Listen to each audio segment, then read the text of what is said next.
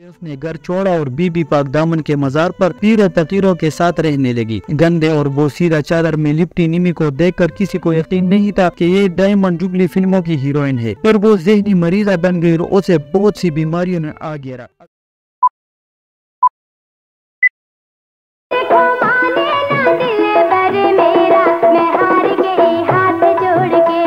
दोस्तों film industry में बहुत कम ही ऐसा होता है कि किसी अदाकार की पहली ही फ़िल्म ज़बरदस्त कामयाबी हासिल करे और वो रातों रात शोहरत और मकबूलियत की इंतहा पर पहुँच जाए निमी पाकिस्तान की ऐसी ही अदाकारा थी जिसे अपनी पहली ही फ़िल्म दुल्हन एक रात की से रातों रात शोहरत मिली ये एक ब्लॉकबस्टर फ़िल्म साबित हुई और डायमंड जुबली मनाई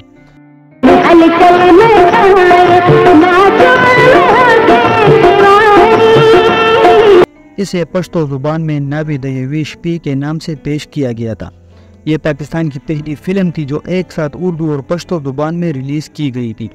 इसके बावजूद निमी शोहरत और मकबूलियत ज़्यादा देर तक संभाल न सकी और सिर्फ़ पाँच साल बाद ही फ़िल्म इंडस्ट्री से आउट हो गई।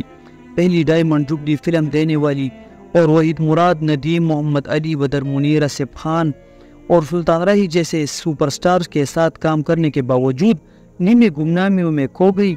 और उसकी आखिरी ज़िंदगी इस कदर इबरतनाक थी कि जिसे लोग देखकर उसकी हालत पर अफसोस का इजहार करते थे। मेरा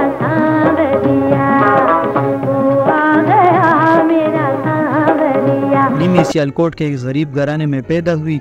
वो तीन बहनें और दो भाई थे। उसकी एक बहन नुसरत थी जिसने शोर फाक ड्रामे एनक वाले जिन में बिल बतौली के किरदार से लापानी शोहरत हासिल की।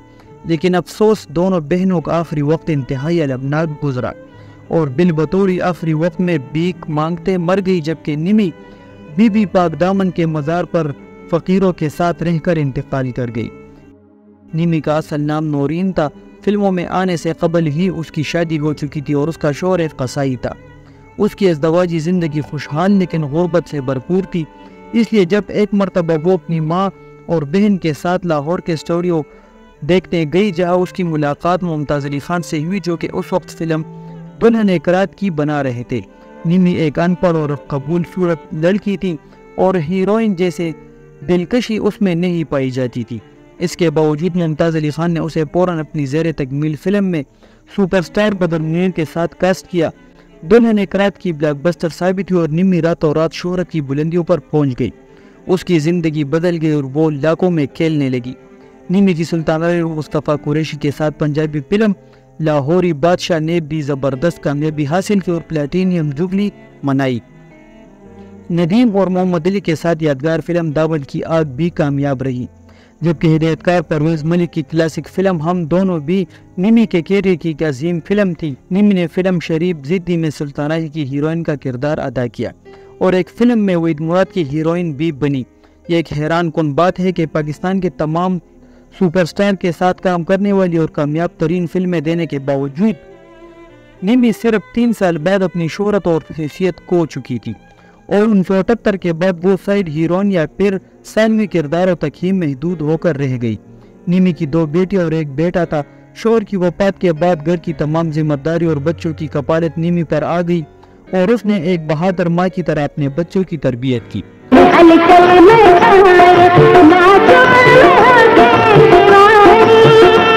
शोर की वफात के बाद नीमे ने दोबारा फ़िल्म लाइन में आने की कोशिश की, लेकिन उम्र की ज्यादती और वज़न बढ़ जाने के बायस उसे कोई खास रिस्पांस न मिल सका। निमी की आखिरी ज़िंदगी इंतहाई इबरतनाक थी। वो जहनी मरीजा बन चुकी थी और ज़्यादातर पीरों आमिल और गंडे तावीज़ों के लिए इधर उधर फिरती थी। उसने बीस से जायद बिल्लियाँ पाल रखी थी, जो हर वक्त उसकी गोद में बैठे रहते थे।